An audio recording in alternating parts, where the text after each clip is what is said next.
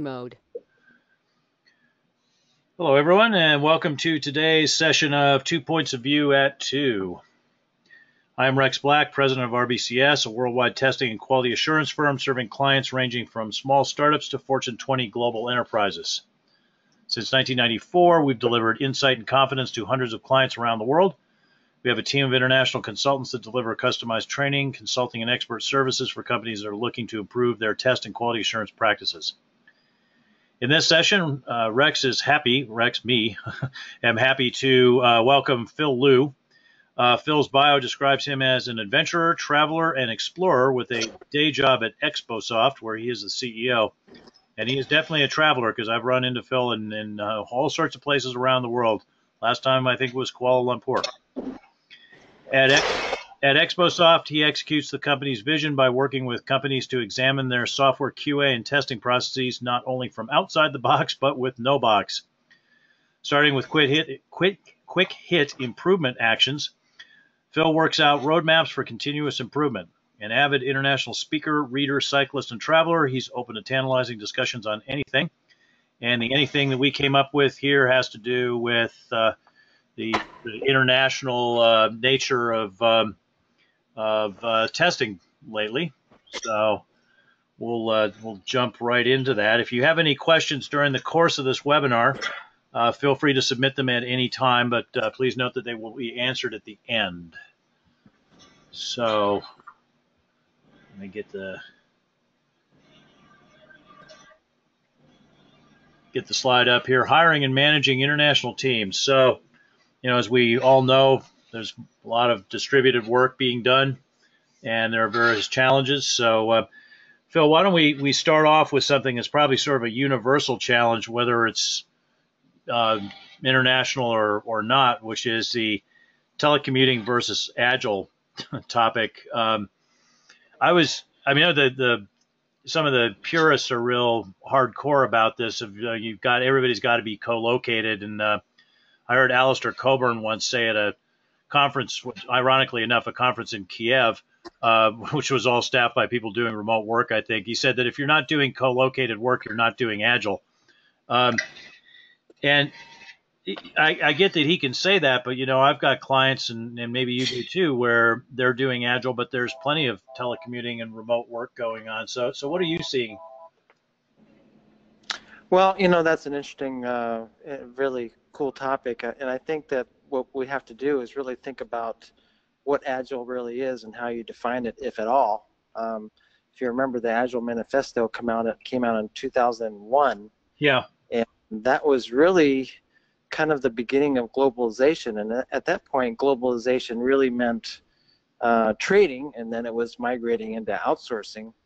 And so there was a little bit of a kickback against that, and you know, people wanting to be co-located and so forth. But you know, co-location and does not necessarily or not being co-located does not prohibit agile agile is really about collaboration and because of today's tools and technologies available we've surmounted that actual problem of having to be physically located you know and um, so I, i'd have to disagree with that whoever i can't remember the person that you mentioned about you know if you're not co-located you're not doing agile i think yeah. that there's plenty of tools and, and methods and um, the physical part of it uh, is not really a stumbling block anymore or a you know obstacle at and all. The guy, the guy is Alistair Cockburn, who's one of the signatories of the Agile Manifesto. For what, for what's that worth? Whatever that's worth, right? Uh, mm-hmm. I mean, I get that he gets to say that because he's Alistair Cockburn and he signed the Agile Manifesto and he was in the room, you know. But I have plenty of clients that that say they're doing Agile and they use distributed or international teams. They allow telecommuting. They're not all co-located, and it seems to be working just fine for them. So, you know, from a purely engineering point of view, where you know you, you focus on what works, not what dogma is, it, it seems to me the the right way to go. Well, I mean, there's two other things going against the grain of, of true physical co-location, and one of them is that um, millennials don't want to go into the office, and people want flexibility and how do you deal with that and still be able to utilize talent wherever it happens to be you know yeah. and, and you don't have people that you know want to go into the office every day. That's just the way it is these days, and we have to deal with that and make the best of it. Yeah, very, very true. Or if they do have to go into the office, they, they insist on bringing their dog, um, which is fine by me. well, you know, I've seen people bring dogs and even have, uh, you know, have their kids there. All, you know, everybody's all together. So. Yeah, talk about co-located. That's right. That's right. The whole the whole team is there and the whole family. That's right. That's yep. right. So, um, something else that I'm sure you've had a lot of, of experience uh, dealing with uh, in in these kind of situations uh, where where you have to deal with disparate teams is is how to how to use collaboration tools to try to, to deal with that that distance. And you know, I've seen this done done well, and I've I've seen it done poorly for sure. Um, you know, lots of lots of email, of course, is uh, one of the more painful ways of trying to deal with it. Uh, mm-hmm. You know, all the way up to these telepresence screens that you know are mm-hmm. just like being there. So, mm-hmm. what what kind of things are are you guys using at XBOSoft, and what are you seeing with your clients? Yeah, that's a good that's a good question. Um, yeah, we have actually had some issues with that in terms of having too many emails. And you mentioned, you know, the email chains just get too long, and you uh-huh. spend uh, spending hours not only reading the email but going back and see what was the original email and you know what what the whole chain of knowledge or train of thought going through that whole email.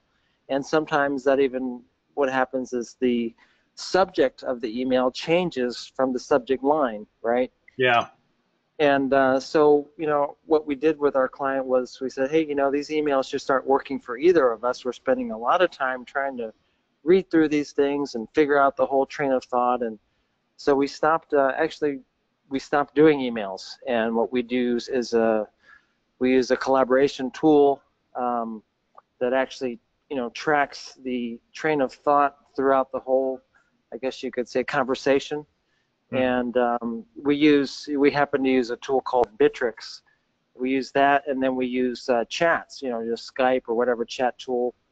And instead of using email because it just kind of gets too cumbersome and too long. You know, you have 30 emails in a chain. It's just really hard to follow. Yeah, I for a while I was trying to adopt this no third reply rule with emails here at RBCS, and it, and that that helped us get better. Which basically was anything if it gets to the point where you're about to be the third reply on an email, pick up the phone. You know, take it mm. needs to become some kind of face-to-face communication or something other than email because mm-hmm. yeah, just that those endless email threads and it's back and forth and back and forth and then mm-hmm. you know, uh, I'm sure you're as busy as I am, so I always right. find it really frustrating to to open up my my email and then see that there's you know this this ping pong match that's been going on and and I'm now you know people are blocking waiting for me to be available and just right. creates this sense this unnecessary sense of pressure and you know and then of course the communication isn't really done real well right mhm mhm because it's all about yeah, think... emptying the inbox rather than you know engaging in a in a really good discussion on a point. Yeah, I think that's a good point. Is that um, a lot of times you just have to say, "Hey, let's have a phone call. Do it the good old-fashioned way," and yep. you can you can solve you can uh, get rid of 30 emails with five minutes on, uh, actually talking on the phone. Yeah, and of course it also reduces the the risk of of misunderstanding. You know, I'm sure you've seen situations where somebody misunderstands something in an email. Sometimes that's got some sort of emotional ballast associated with it, and then it's you know you're just off to the races with this really counterproductive and enervating email sequence. People are arguing and fighting, you know. Yeah, that's a good point. Uh, you know, email is never good for anything other than really, uh, you know, short facts. Yeah. Um, yeah. Emotions can get into it and have miscommunications and hurt feelings, and it's just uh, can be a snowball. yeah, absolutely.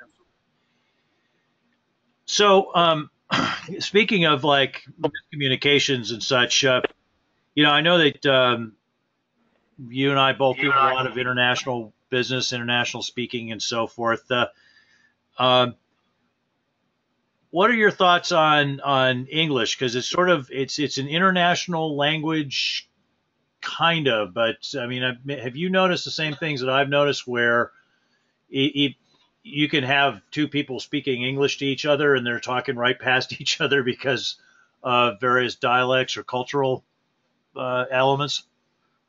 Yeah, of course. I mean, it, you know, when I talk to our folks, you know, we have quite a few of our testers in China, as you mentioned earlier, and um, there's a big difference between speaking English and communicating. And um, yeah. so, you know, I, I, I really work on, on, on with them on, on listening skills and trying to figure out, trying to help them to um, really learn what the message is, what you know, and what the customer or client really wants rather than the actual words. Um, and I, I think a lot of times there's two two problems. One of them is that people that are not native English speakers, they they have a canned responses that they have without thinking too much about them. And the second thing is they're already trying to think of what to say before they're listening carefully to what the client says. Mm-hmm. And so when you're trying to do those two things at the same time, then that doesn't work quite well. So you know, my advice is you know for those that are um, having English as a second language, that as you said, we all have to speak English, whether or not it's second or first language, because it has become the international language. You know, it's to really practice listening skills and to um, listen before speaking, even though, you know, as a as a non-native speaker, you're always working on you know, what am I going to say next and how am I going to say it and so forth. Really listen first. Yeah, that's a that, that's a great point. You know, I um, I speak a, a little Spanish, um, and so you know, I go when I go to countries where they're Spanish-speaking countries. Uh, one of the things that I, I always get to rediscover is that it's not speaking a language is hardly a binary thing. It's not like either you do or you don't speak the language, right? There's what how much of the language do you know? You know, and I can I can I can order dinner. Um, I can uh, get get in a taxi and get you know tell the taxi driver where I want to go and and and have various kinds of basic conversations in Spanish and and that sometimes gets me into trouble because they'll assume that I can actually speak it reasonably well, and then they'll start mm-hmm. with uh, with you know 200 mile an hour Espanol, and I'm like, ah, no, no, más despacio, which means more slowly, you know. Right.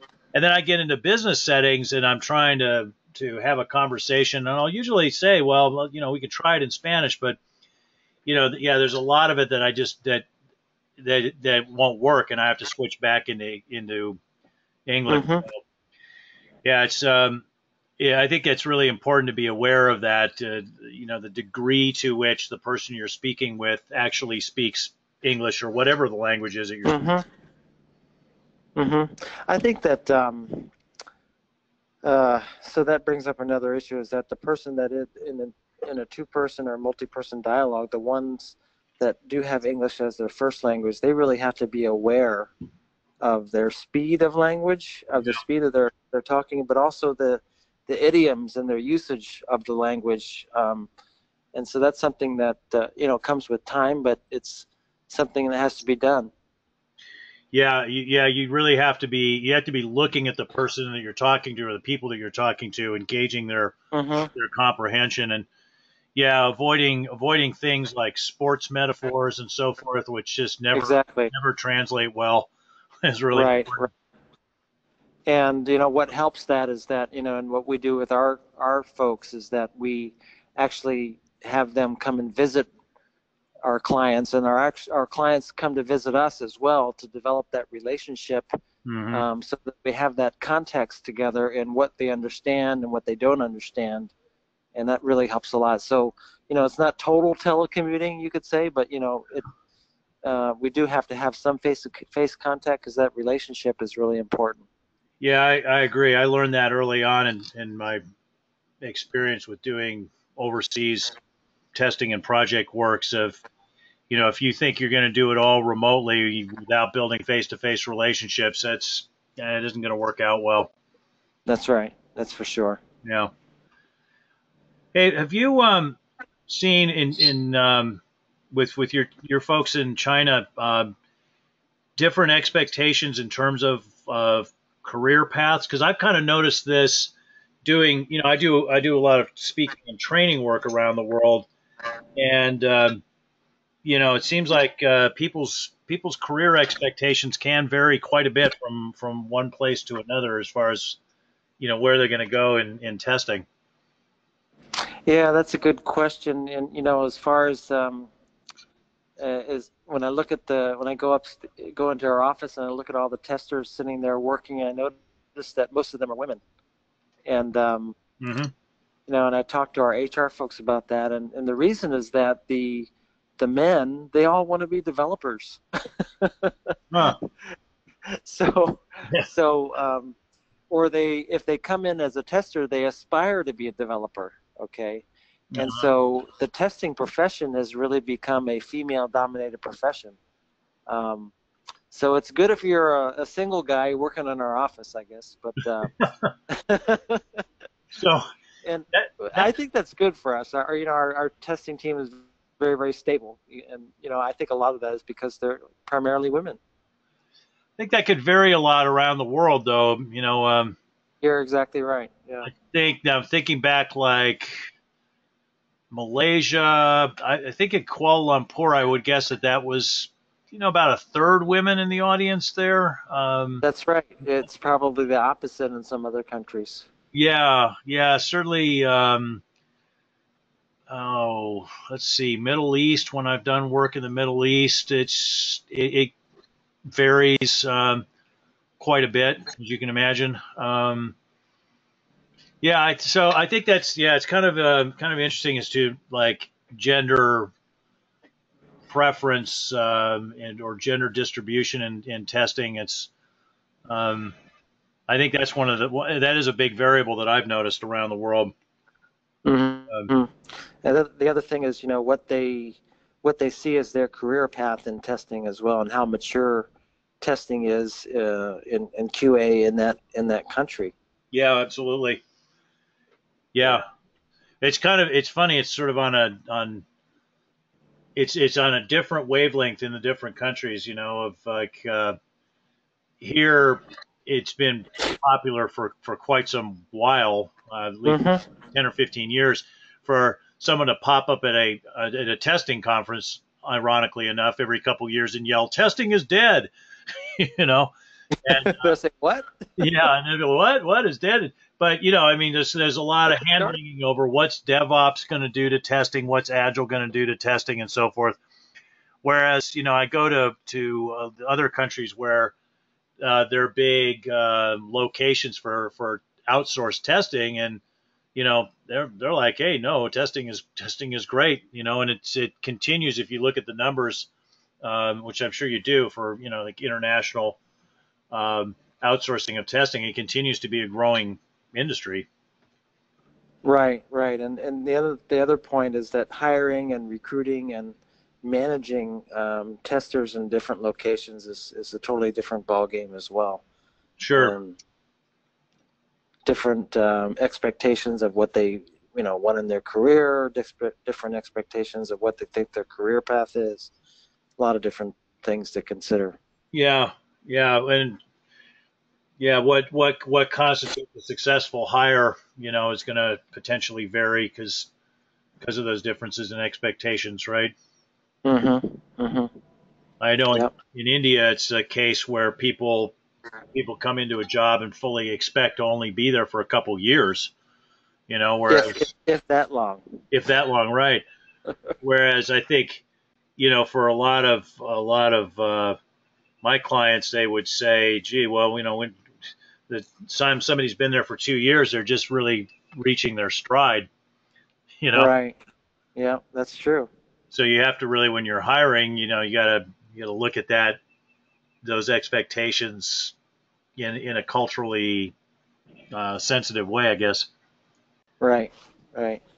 I think you know what what that means really is for those locations that have or those countries that have high turnovers to really think about um, you know, tra- good training systems for training people, getting up to speed and productive as fast as possible, in order to you know because you can't fight the turnover, but you can you can deal with it, right? So those are the kind of things you have to think about. Yeah, yeah, absolutely. Well, great. So uh, I thought what do we do at this point, Phil, is um, open it up. We got a we got some questions. Um, so I thought we'd uh, maybe take a look at some of these questions.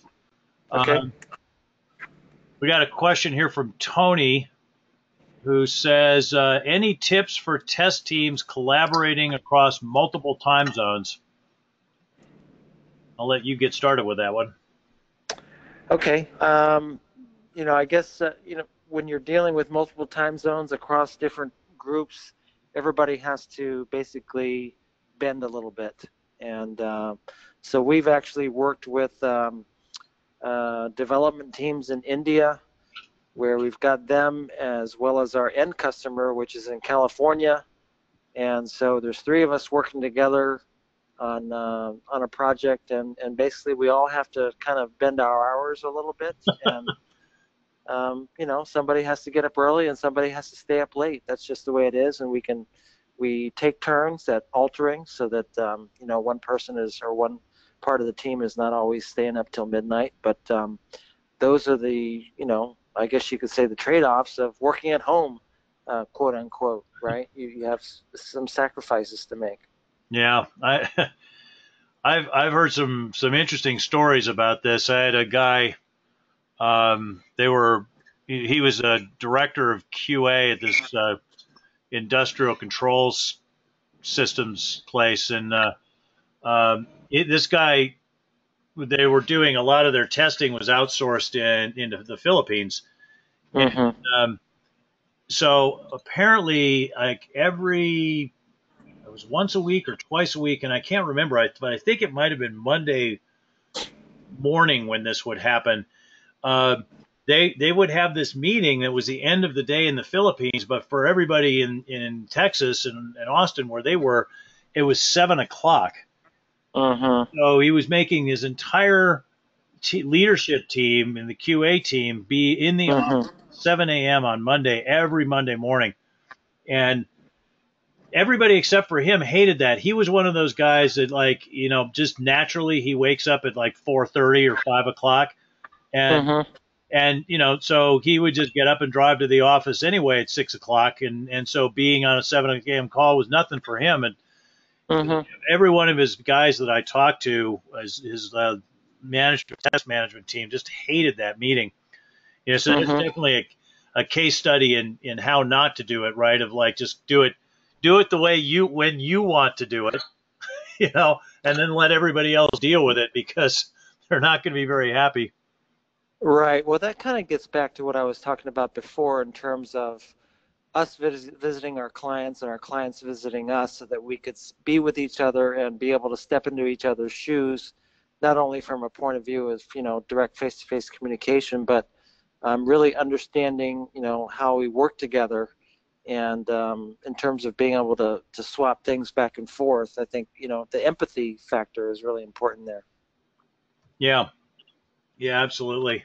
Uh, I got a question from Lindsay here. Uh, uh-huh. And uh, good to hear from you, Lindsay. Hope everything's going well there. Um, she says, uh, Do you have any advice or thoughts around managing a remote team without going so far as to become their people managers? Um, I think the distinction she's drawing there is, you know, we manage their tasks, but we don't manage their, their staff. Um, so she, she adds, where and how do you draw the line between coordinating a group of remote testers versus managing them directly? Hmm. Uh, Good one. I'm not sure. Maybe you could start on that, and I could sure. chime in. Rick. Not quite sure. Yeah. So, so I think I think where you're, I think where Lindsay's going here is that um, we've got we've got some tests that need to be run, and we have a remote testing resource. And what we want to do is, is hand off that work to them in a way that we know it's going to get done. We can be confident that they're going to get it done, but at the same time, we don't want to have to get into managing the people directly.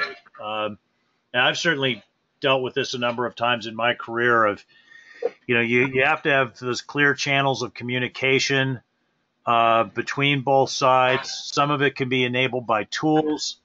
Um, in fact, I would say tools are, are really ideally going to be used because when I've tried to do this in a semi-manual way of coordinating work using spreadsheets and stuff, it's a nightmare. But uh, uh, yeah, a smooth process for for dividing up the work to figure out who should do what, and then parceling out the work, handing off the work to the people who are supposed to do it, and then getting those test results of various kinds funneled back through the appropriate systems. I would say are probably the the key things to me.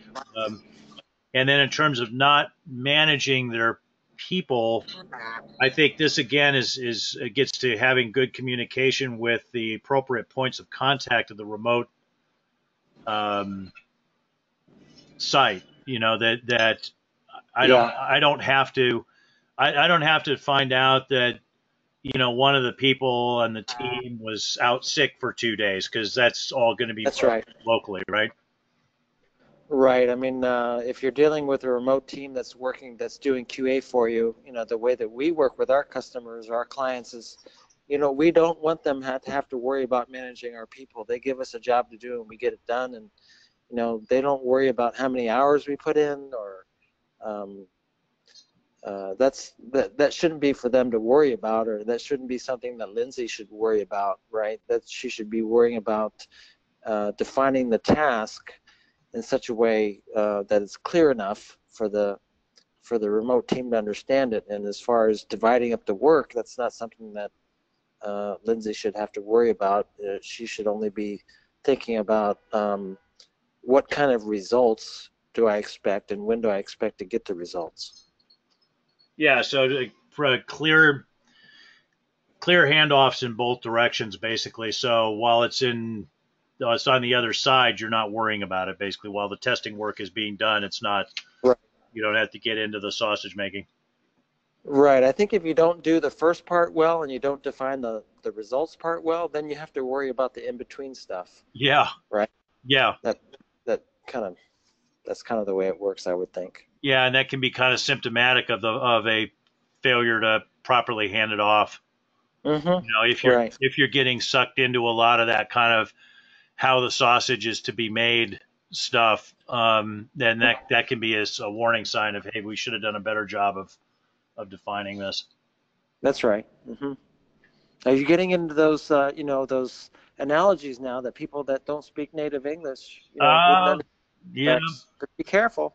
Well, yeah, no, actually, I think that's. Although everybody makes sausage, I guess. Well, then, well, that's a it's a it's a German thing, right? Because that that quote, that quote is from Bismarck about okay. those who enjoy sausage and respect the law should never watch either being made. okay. So anyway, I, I blame Bismarck, but you're right. Yeah, it's easy to slip into that.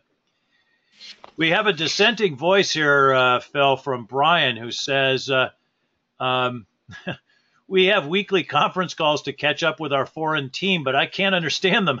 So I prefer emails. I'm sure you've been well, on some conference calls like that where it's just like this scratchy, heavily accented voice at the other end, and you're like, oh man, this is not going well. well, you know, you, you have to do both. We, yeah. we do both. Um, you know, one of them is to, to, sometimes clarify, but the other part is to uh, uh, the the voice part of the the conference call part is actually it's part of establishing a relationship. That's just sure. the way it works. Yeah, I would say that maybe they should look at the the way that those conference calls are being done. There's, you know, there's some ways of de- if it's, you know, if you've got bad audio, there's some ways of trying to deal with that. Right, right. Of course. I mean, we've used many different technologies, and it, um, you know, you just have to experiment to find which one is best. Yeah. Uh, Lindsay says, excellent answers. Thank you both. So you're welcome, Lindsay. Um, so we're at our, we're at the end of our of our allotted time here, Phil. It's been a lot of fun. I hope you um, enjoyed the conversation, uh, and I hope all of you out there listening enjoyed this free webinar from RBCS. We do these free webinars as a service to the software testing community because at RBCS we are a not just for profit company. If you enjoy our free webinars and feel that they demonstrate solid insights into the kinds of testing challenges you face, please make RBCS your preferred software testing vendor uh, for expert services, consulting, or training, but not outsourcing. That's you want to talk to Phil about. Uh, okay. We're happy to provide a quote uh, for any such help that you might need and uh, contact us info at rbcs-us.com. Uh, Phil, thanks again for uh, for uh, agreeing to take a half an hour out of your, your conference day to, to be part of this and uh, hope you have a, a, good rest of the day. Okay, thanks a lot, Rex. Thanks, everyone. Thanks, Phil. See you later. Bye. Bye.